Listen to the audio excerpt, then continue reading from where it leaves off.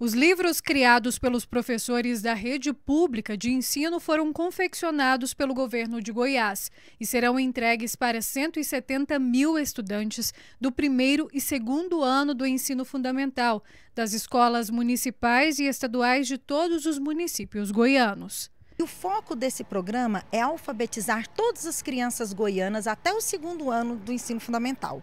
Então, o programa ele traz material didático, ele traz formação, ele traz avaliação, avaliação de fluência, aquela avaliação leitora, ele traz avaliação do processo de alfabetização também, ele traz formação dos professores com base nesse material. Então, o material é mais um eixo do programa.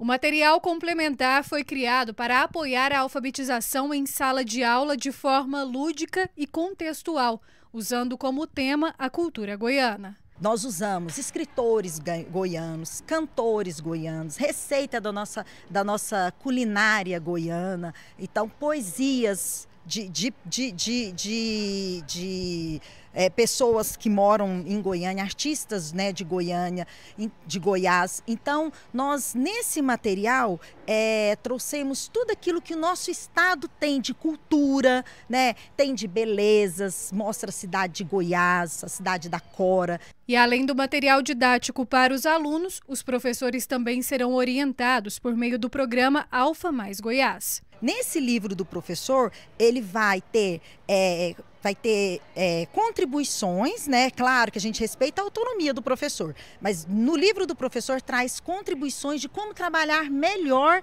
esse material, né? Reflexões, é, propostas de outras atividades, de como explorar o material.